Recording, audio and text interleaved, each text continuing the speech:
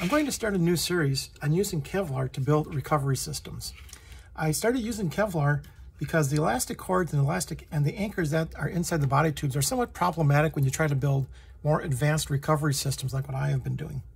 Uh, in keeping with the Kevlar, I actually use this Kevlar, which is interesting. Uh, this is a 100 pound Kevlar cord. It is 0.8 of a millimeter. It's extremely thin. It's like a very thick dental floss, but it's very, very thin.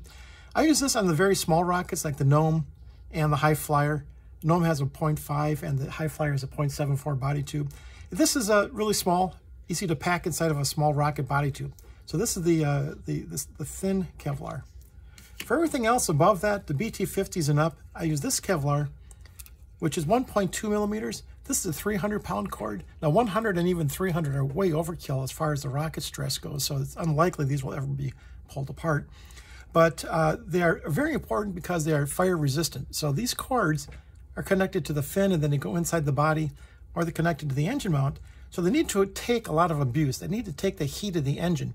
So that's why I use the Kevlar cords uh, to connect uh, to the uh, to the body, and it's connected down deep inside the by the engine mount or onto the fin. So this again is 1.2 millimeters, the uh, 300 pound cord. I buy this in 200 foot spools.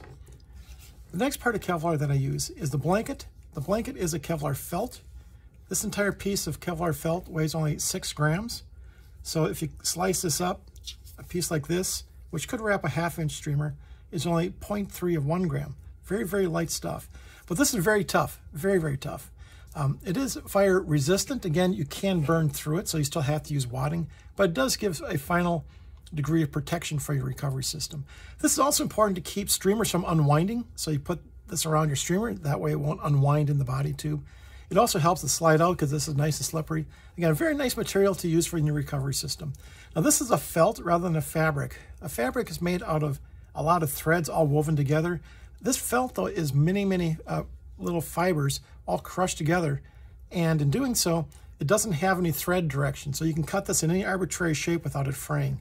So these, this is what I use to protect the, uh, the actual recovery uh, mechanism itself, such as the parachute or streamer. So these are the three things, a, uh, a 0.8, 1.2, and a millimeter, and Kevlar felt, and I can build an entire recovery system out of all these materials.